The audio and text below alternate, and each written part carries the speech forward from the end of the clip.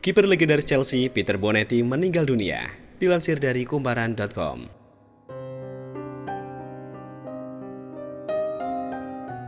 Berita duka datang dari dunia sepak bola Inggris. Peter Bonetti, kiper legendaris Chelsea, wafat di usia 78 tahun akibat penyakit yang telah lama ia derita. Chelsea mengumumkan kepergian Bonetti pada hari Minggu, 12 April 2020 malam hari waktu Indonesia Barat. Bonetti bisa dibilang sebagai salah satu kiper terbaik yang pernah menjaga gawang The Blues.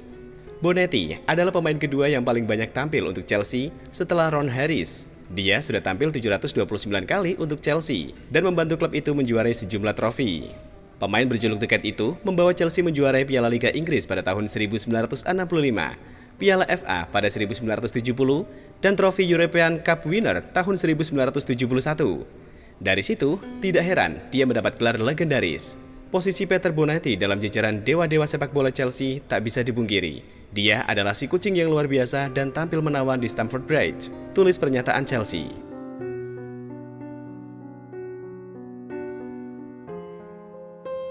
Bonetti melakukan debut untuk tim utama Chelsea di usia 18 tahun pada 1960 silam. Hebatnya, sepanjang karirnya bersama Chelsea, Bonetti mencatatkan 208 clean sheet. Catatan itu membuatnya menjadi kiper Chelsea dengan torehan clean sheet terbanyak sampai 2014, ketika Peter Cech melampaui rekor Bonetti. Menariknya, Bonetti adalah juara dunia. Ya, dia termasuk dalam skuad Inggris yang memenangi Piala Dunia 1966, meski tak pernah bermain sepanjang turnamen tersebut. Selain bermain untuk Chelsea, Bonetti sempat membela klub Amerika Serikat bernama St. Louis Stars dan mengakhiri karir bermainnya di Dundee United. Selamat jalan sang legenda. Salam olahraga.